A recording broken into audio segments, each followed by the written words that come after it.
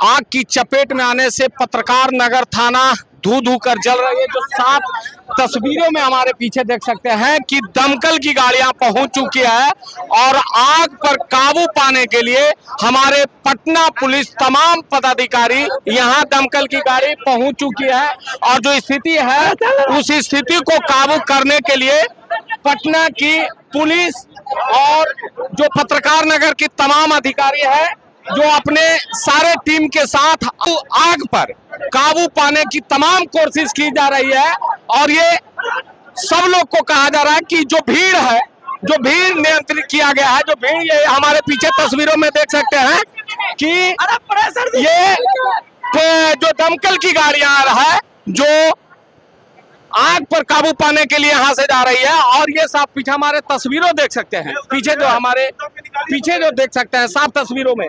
कि जो आग कितनी भयानक रूप से है और वहाँ की दमकल गाड़ी जो है, पानी की बौछार और पटना पुलिस जो अग्निशामक यंत्र है, जो वहाँ पहुँच चुके हैं, गाड़ी की तमाम गाड़ियाँ पहुँच चुके हैं, तमाम दमकल की गाड़ी जो आग पर काबू पाया जा रहा है। स्थिति क्या है? किस कारण से आग पकड़ी है? इसका जाँच विषय की जा रही है। लगा था सर लोग फंसे थे अभी आशंकित है कि शॉर्ट सर्किट से लगा था थाने में जितने लोग रहते हैं वो सब ऊपर थे सब लोग सुरक्षित बाहर आ गए हैं। हथियार भी चले हैं सर नहीं कोई कोई अभी इसकी कोई ये नहीं है कोई इन्फॉर्मेशन नहीं है। पीछे मालखाने का सामान कुछ डैमेज हुआ है उसका भी हम लोग असेसमेंट कर रहे हैं। और जो फायर सेफ्टी के नियम है उसकी अनदेखी की गई अभी हम लोग देखते हैं कि कब इसका ऑडिट किया गया था हम लोगों ने क्या सुझाव दिया है। तदनुसार जैसे किया गया इसमें किया गया है। ऑपरेशन के बाद हम लोग इलाज करेंगे। इलाज करके देखेंगे कि कहीं चुप तो नहीं हुई है या क्या कारण रहा। है ये इलाज करने के बाद ही हम इस पर कुछ बता सकते हैं। नुकसान क्या क्या हुआ कितने लोग फंसे थे? मलखाना में आग लगी हुई है। बहुत सारा देखते हैं कि बाइक्स वगैरह है बहुत सारे कागजात हैं तो नुकसान कुछ हुआ है इस तरह के। और करीब तीन चार लोग सिवियरली फंसे हुए थे जिसमें से एक आदमी को तो हाइड्रोलिक से रेस्क्यू करके हटा निकाल लिया गया। और बाकी दो तीन लोगों को जैसा कि आप देख रहे हैं पीछे में सीढ़ी है।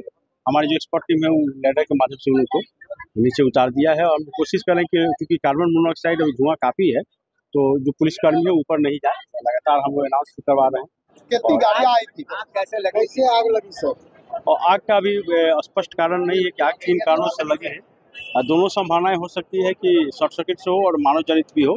तो अभी हम लोग ऑपरेशन कर रहे हैं ऑपरेशन के उपरांत ही इस पर निर्णय ले पाएँगे। कितनी गाड़ियाँ पहुँची अग्निशमन के लगभग हमारी जो है पच्चीस गाड़ी पहुँची हुई है। दो रेस्क्यू के लिए हाइड्रोलिक पहुँची हुई है दो बाउजर पहुँची हुई है।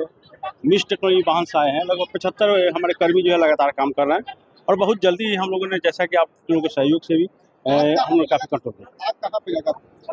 आग पीछे में लगी हुई थी जो मलखाना है उसी में आग लगी हुई थी जो इसका कबाड़ टाइप है। कितने लोगों को रेस्क्यू हाइड्रोलिक से एक लोगों के रेस्क्यू किया गया पांचवी मंजिल पर थे और अन्य लोगों को लेडर के माध्यम से रेस्क्यू करके सेफली निकाला गया। किस कारण से आग लगी थी? आग का स्पष्ट कारण अब ऑपरेशन के बाद ही एनालाइज करके हम लोग बता पाएँगे।